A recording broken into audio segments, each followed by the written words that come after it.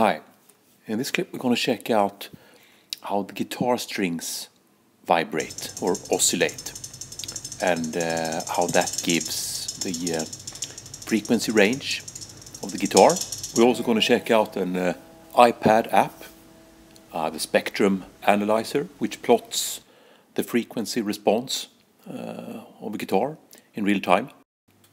So let's consider this string uh, on a guitar or a bass if you pluck it, it's going to start oscillating or vibrating uh, and form standing waves. And you can see one of them. Uh, so let's first check out what is a standing wave then. Uh, let, let's assume that you have a string that you've attached to the wall. And you jerk your hand and, and there's a pulse moving along the string, bouncing against the wall, back towards you. Uh, if you move your hand up and down, this will repeat. And if you do it in the, you move your hand in the resonant frequency of the system or of the string, the, the waves that move back and forth will, will uh, cancel each other out and reinforce uh, in such a way that you will, you will have something that looks as if it's standing still, a standing wave. But the guitar uh, wants to oscillate at a number of frequencies at the same time when you pluck it. Uh, let's check out this experiment first, you know, with the string in the wall. I've actually tried tried to try that myself. Check it out. Okay, it's kind of a crude setup. I've attached a string to a pillar and just move it up and down in the resonant frequency. So ha you have the fundamental tone. If you increase the frequency, well, an entire period will fit between the, uh, me and the pillar. And uh, if you increase the frequency, you'll have even higher overtones. And these exist side by side on the guitar. The fundamental of an E string, of a lower E string of an electric guitar is 82 Hertz. Uh, you can see the amplitude is uh, the biggest at the 12th fret in the middle. Uh, so, so the neck pickup, which is closest to that, picks up the most of the fundamental. So it's the bassist microphone. Uh, then you have this, uh, the first overtone, which is uh, double the frequency of the fundamental, uh, 165 hertz. Uh, then you have the second overtone, which is three times, uh, 249 hertz. And it goes on. Uh, the, the overtones get less and less loud as you move up in frequency. I think they're almost quiet when you when you get up to eight kilohertz or something like that. But you know, most most guitar speakers cut at five kilohertz. So so so um, that's the limit. Okay, now let's check out the Spectrum Analyzer iPad app. Let's then check out the lower E string.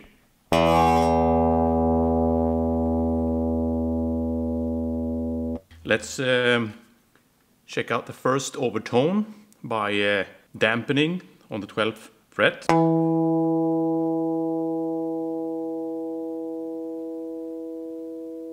The second overtone uh, by dampening at the uh, 5th fret. Let's check out the higher E string.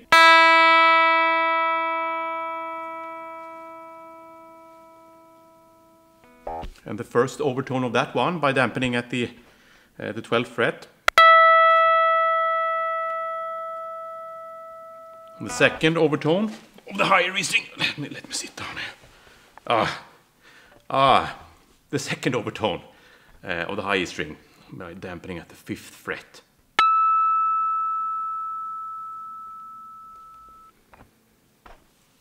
Obviously, the string can't be at several places at the, at the same time. Uh, the actual shape of the string is the the sum of all overtones uh, to have them superimposed like you can see here in the picture. So here you have an entire fretboard worth of uh, fundamental notes. You can see that they range from 82 Hertz for the lower open E string down to about 1 kilohertz. So this is the meat uh, that should be provided by the guitar and that has to be balanced against uh, bass and, and other more meaty instruments. Then you have the overtones. For instance, for uh, the lower E, which have a fundamental of 82 Hertz, uh, the overtones are multiples of 82 Hertz, so it's 165, 249, 330, and so on. Uh, with the spectrum analyzer, you could see how how the the overtones uh, were quieter and quieter uh, as you moved up in frequency. Uh, and as I said before, the, the speaker cuts at five five kilohertz. So uh, so that's the upper range. All right. To conclude, I'm going to show you the signal chain of uh, guitar tracking. Uh, well, obviously sent off uh, these frequencies from the guitar when you play.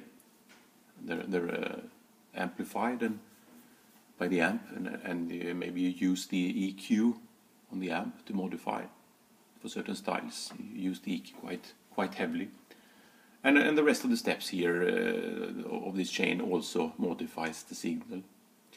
But it's important to know what the fundamentals uh, and, and most powerful overtones are of the signals that, that you send off uh, to get a big, big powerful sound and, and a good signal. Because all, all these steps uh, may, may, undermine it. You, you, may you may add something in a step to, to get a, a cool sound, but but, but you, uh, you you you may uh, undermine uh, the bigness of the signal by doing so. So it's, it is good to remember what are the frequencies of what I played at, in the beginning. All right. Uh, I, I really like some feedback, as usual. Uh, and don't hold back. Cheers.